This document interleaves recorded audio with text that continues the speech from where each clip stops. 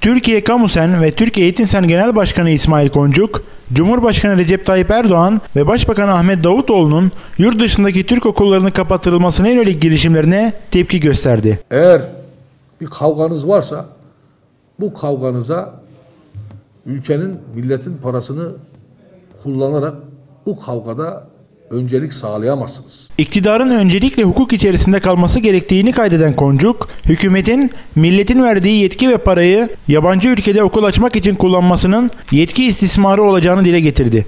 Ülkede 1 milyon 120 bin üniversite, 750 bin meslek yüksekokulu ve 2,5 milyon lise mezununun iş bulmak için KPSS'ye girerek devlet kademelerinde iş bulmaya çalıştığını hatırlatan Koncuk, bu gençlere iş ve kadro yok ama Afrika'nın bilmem ne ülkesine okul açmak için imkanınız var. Varsa bunu bu milletin çocukları için kullan. Bu kararı verenlerin yeniden bunu değerlendirmelerini ve aklı selimle davranmalarını bekliyorum şeklinde konuştu. Siz hangi yetkiyle, hangi vicdanla bu ülkenin parasını Etopya'da çarçur etme hakkına kendinizi sahip kılıyorsunuz? 17-25 Aralık operasyonlarından sonra iktidarın yandaşı olmayan hiçbir insanı milli eğitim veya diğer bakanlıklarda bir makama getirmemek gibi bir anlayışı geliştirdiğini açıklayan Koncuk, AKP iktidarının değirmenine su taşıyacak insanlarla yürümek istediğine işaret etti. Dershane kanunu ile Milli Eğitim Bakanlığı'nın değişik kademelerinde 76 bin kamu görevlisinin tasfiye edildiğini ifade eden Koncuk, bir kanun çıkararak insanların yıllarca alın teriyle hak ettiği makamların alınmasının